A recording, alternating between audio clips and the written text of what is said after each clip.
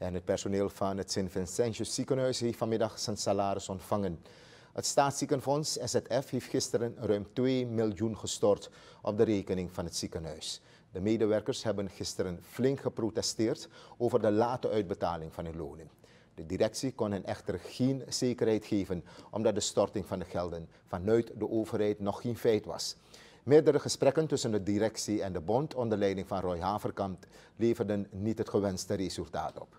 In eerste instantie wilden de medewerkers het werk totaal platleggen, maar de bondsvoorzitter wist hen tot andere gedachten te brengen.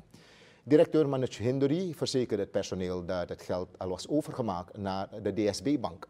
De middelen moesten alleen nog op de rekening van de Hakeringbank gestort worden.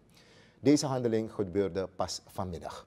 De werknemers en bondsvoorzitter Roy Haverkamp zijn blij met de uitbetaling van de salarissen. De directeur van het ziekenhuis wil geen officiële reactie geven aan onze nieuwsdienst, maar zegt wel opgelucht te zijn dat de medewerkers nu over een salaris kunnen beschikken.